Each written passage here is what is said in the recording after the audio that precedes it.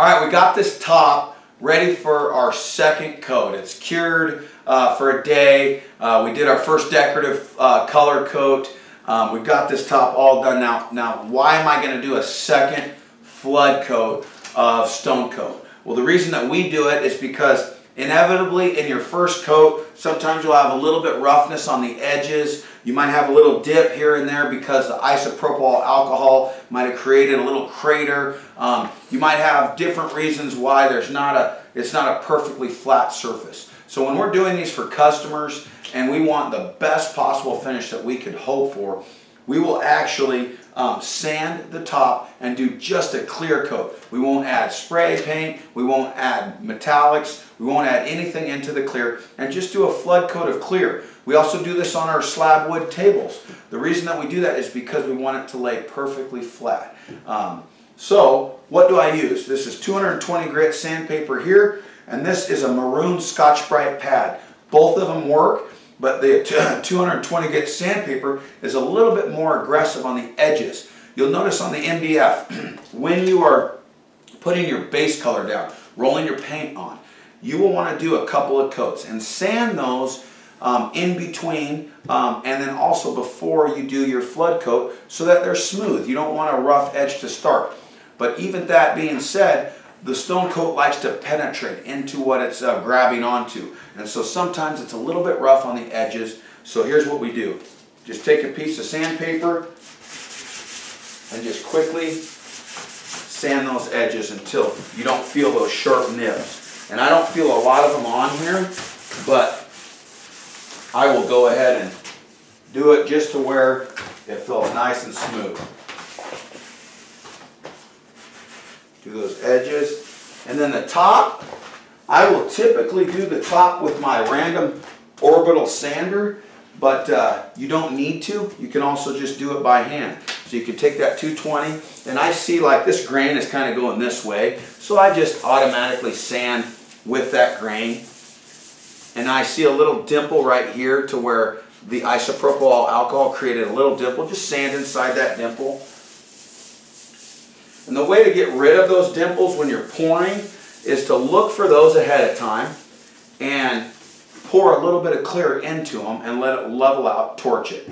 Uh, I don't worry about them that much because I know that I'm doing a second coat. But on your first coat, because you're mixing all kinds of different stuff with the stone coat, sometimes you'll get craters and stuff like that. But the, the second flood coat definitely is a step up for your look. It makes it look just really, really professional. And uh, and then uh, down the road, if you ever want to refinish the tops, you can easily polish them, sand them, knowing you're not going to ever touch the color. Uh, here's here's just that 220 grit or that maroon Scotch-Brite pad. So I'm just going over it with that too. I'm just going right over the edge with that. And the flood coat will hide all of the uh, sanding marks. Um, so don't worry about your sanding marks. They get they get hidden as soon as you touch it with another flood coat. It, it, it looks great. So there we go. That's all you got to do to prep the top for your uh, for your next flood coat. But you're going to want to take some uh, some rags and wipe the dust off. So I'll show you how to do that.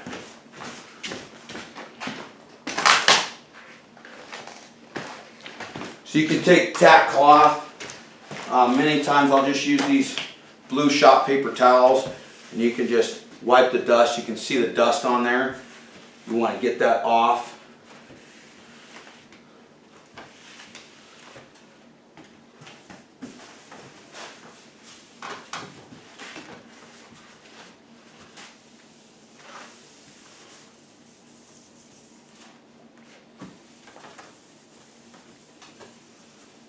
In my shop, I'll blow it off with the uh, air. Whenever you pour your second flood coat, you want to make sure it's nice and warm, just like your first. You want the um, ambient temperature about between 65 and 75 degrees. So you can see I got all that dust off. It's really clean on my rag. And now I'm ready to uh, do my second flood coat. So I'll mix that up, one to one ratio.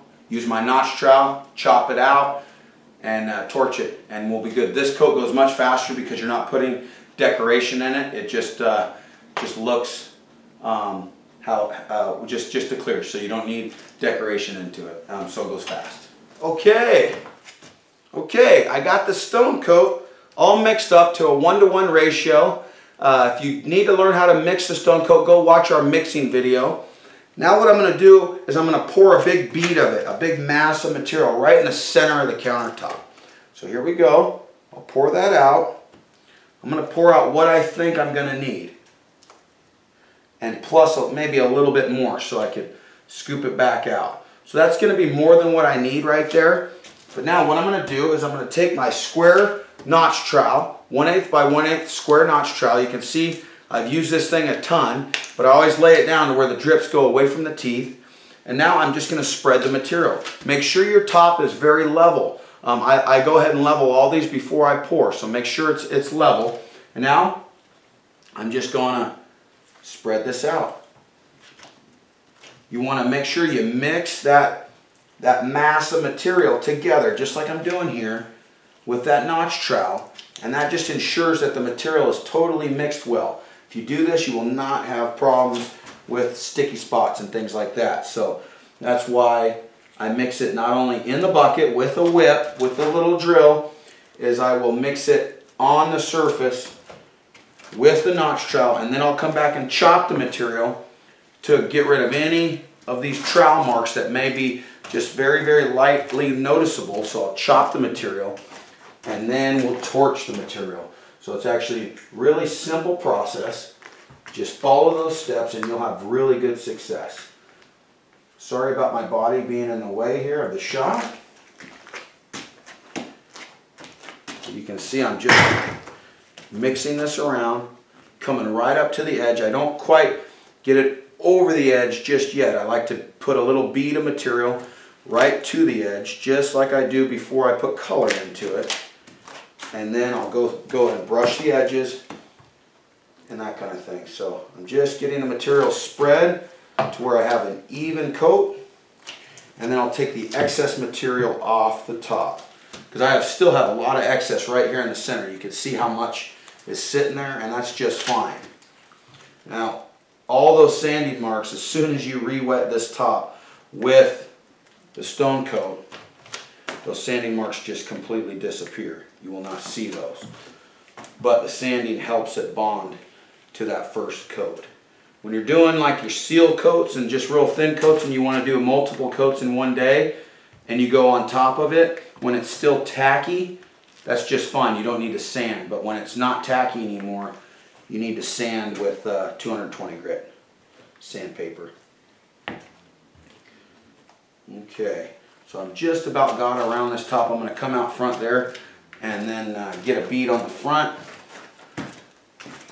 And then I'll show you what I do.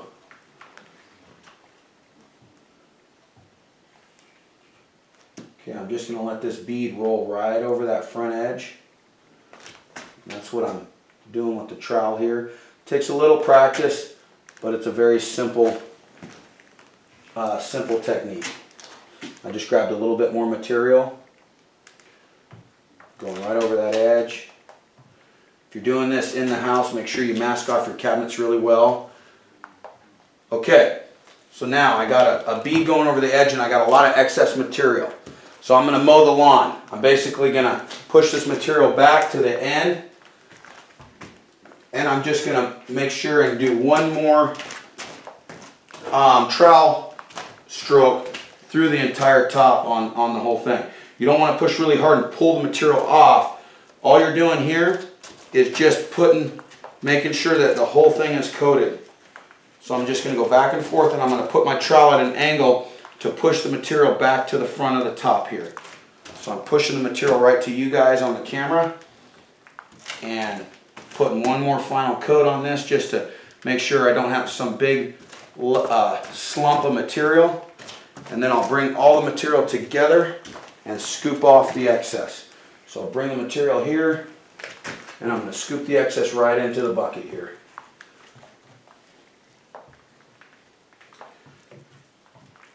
And that way I'm not wasting material that I don't um, need to, and I can use this on my other tops that I have ready to go. So I'll take it here, turn the trowel, and it fall right in the bucket. Boom, turn the trowel, let it go right into the bucket. Okay, so that top is now coated and clear.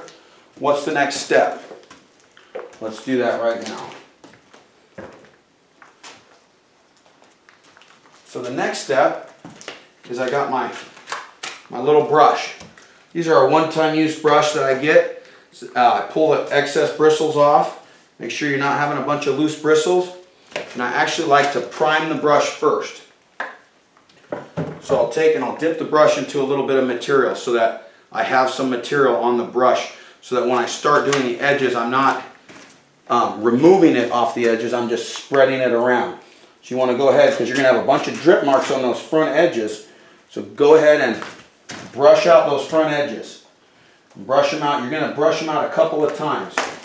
I'm taking a little bit of excess, get it a little bit more wet on my brush.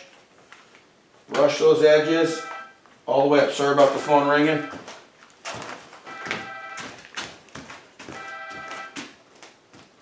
Okay.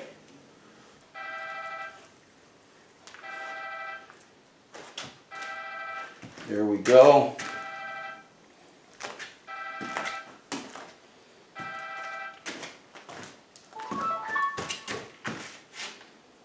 So I got the front edges brushed. Now I'm going to chop the material. I'm actually going to prime the brush with a little bit of material, start chopping it. I'm not pushing hard here, especially in the beginning where the brush might be a little dry because you don't want to pick material up and not put it back down. So all the only purpose of doing this is so that there's a random pattern in there that gets rid of any iridescent look of the trowel which you probably won't have anyways, but this is just ensuring that it, it will not show up lines from your trowel. Also, this helps mix the material again. So this is our third time mixing that material. This system will prevent you from getting uh, a top that doesn't cure properly. So follow these steps and you'll have success. You can see all the little bubbles in the surface. That's normal at this point. We're going to torch those out. You don't need to torch them right away. You can do this. Now, because I chopped all the way to the edges, I've created more drips going over the edges. So go back and hit those edges again. This time it's much easier. There's not a bunch of drip marks and they're all coated. So the brush just really slides easy on those edges. Okay. So now what I'm going to do is I'm going to torch this.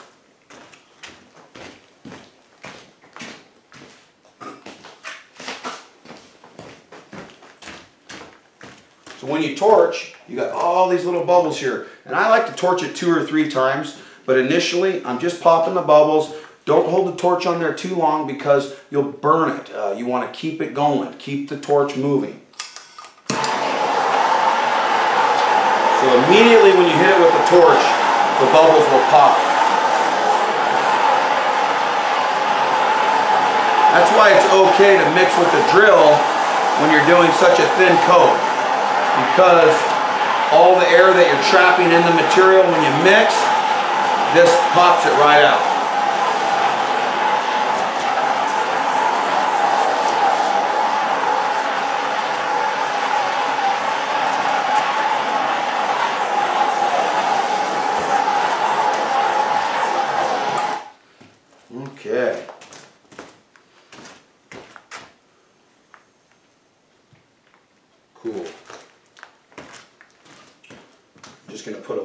Material right here where I touched it and then brush it out. Okay, I'll let that sit and I'll come back and retorch it. I'm just going to brush these edges one more time just to make sure they're coated evenly. Okay, it's laying out really good.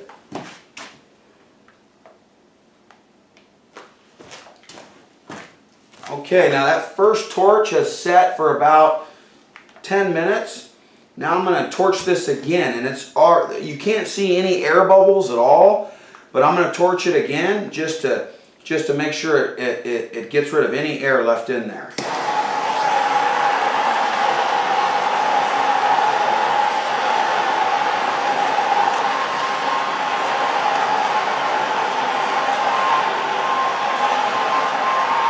You see I'm going fast over the surface.